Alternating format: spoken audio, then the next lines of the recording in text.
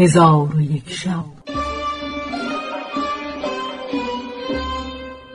چون شب پانصد و هشتاد و چهارم برآمد.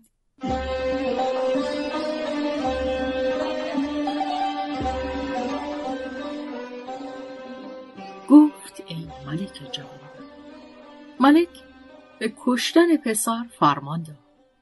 پس وزیر چهارم به نزدیک ملک آمد و آستان او را بوسه داده گفت ای ملک در این کار که قصد کرده ای صبر کن. عاقل نباید کاری کند که از برای او پشیمانی روی دهد که در مثل گفته اند. هر کس پیامدهای کارها را اندیشه نکند دنیا از آن او نخواهد بود. و هر کس که در کاری شتاب کند پشیمان گردد. ای ملک از مکر زنان حکایتی شنیدم ملک گفت ای وزیر کدام است آن حکایت؟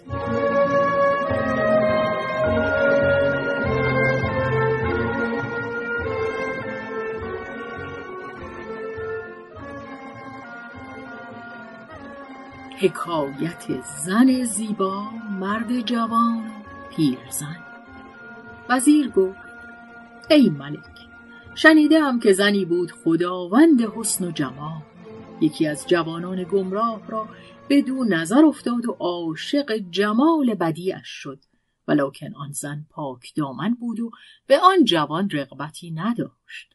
اتفاقا شوهر آن زن به شهر دیگر سفر کرد. آن جوان همه روزه رسولی به نزد آن زن میفرستاد و آن زن دعوت او را اجابت نمی کرد تا اینکه آن جوان نزد عجوزی که در همسایگی او ساکن بود برفت. آنچه از عشق زن به او رسیده بود به عجوز شکایت کرد و قصد خود را باز نمود که وصل آن زن را از او تمنا دارد. عجوز به او گفت من زامنم که تو را به مراد خود برسانم. آنگاه جوان یک دینار به عجوز داد و از پی کار خود برفت. چون بامداد شد عجوز نزد آن زن پاک دامن در آمد و با او عهد تازه کرد و دوستی آشکار نمود و همه روز به نزد او آمد و شد می کرد و چاشت و شام در خانه او می خورد و از بهر فرزندان خود نیز تعام می برد و با آن زن مزاح می کرد و ملاعبت می نمود و او را می خنداند تا اینکه او را به خیشتن مفتون کرد.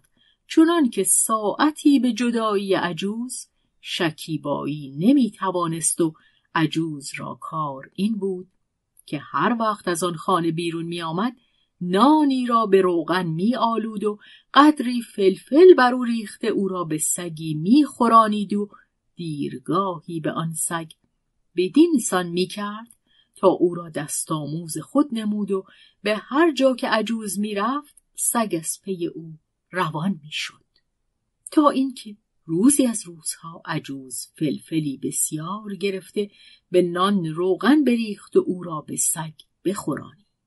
چون سگ او را بخورد از تیزی فلفل آب از دیدگانش بپالود و از پی عجوز روان گشته به خانه آن زن بیامد.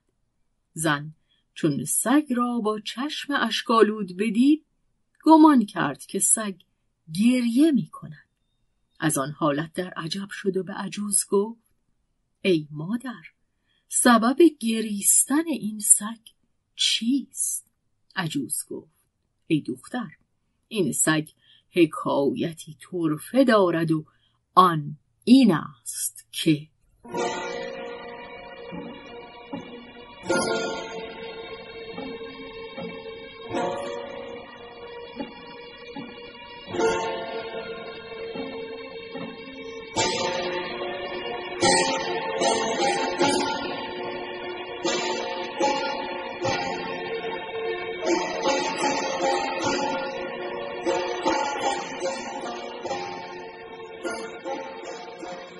این سگ دختری بود غمر منظر و با من به جای خواهر بود. جوانی را بر او نظر افتاد. شیفته جمال او شد و از اثر عشق رنجور گشته به بستر افتاد. چند بار رسول به نزد آن دختر فرستاد که شاید بر او رحمت آورد. سخت دلی کرده بر آن جوان رحمت نیاورد. من او را نصیحت کردم و به او گفتم ای خواهر به آن جوان مهربانی کن و به حالت او رحمت آور. او سخن مرا نپذیرفت و پند مرا ننیوشید تا اینکه جوان را طاقت برفت و شکیباییش کم شد. به یکی از یاران خود که علم سحر می‌دانست شکایت کرد. او نیز آن زن را جادو کرده به صورت سگ درآورد. پس از اینکه این حادثه او را روی داد و صورت او بگشت از آدمیان جز من کسی نیافت که به او مهربانی کند. به این سبب به منزل من آمده دست و پای مرا ببوسید و بنالید. من او را شناختم. به او گفتم بسی پند گفتمت. چرا پندم؟ ننیوشیدی.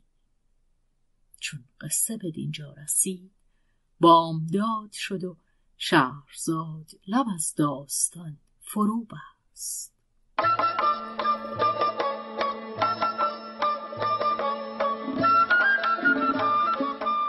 قصه گو شهرزاد فتوهی تنظیم مجتبا میرسمی